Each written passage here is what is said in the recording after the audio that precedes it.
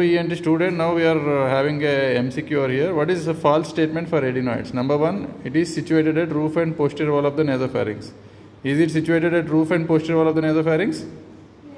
Loudly say yes, yes. Roof and the posterior wall of the nasopharynx. In front of which vertebra? C1, C1, first cervical vertebra. Okay. Second point is B, it has a capsule on the external surface. Is it a correct statement? No. false. So, capsule is absent in adenoids. It is present in tonsil. Okay.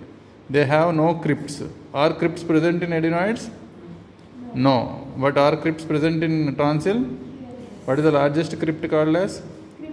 Crypta magna. Okay. It is helpful for increase in the surface area for immunity. Okay. So adenoids are present at birth and regress by puberty. Is it a correct statement? Yes. Yes. They help in airway, airway related surveillance for the airway immunity. Thank you.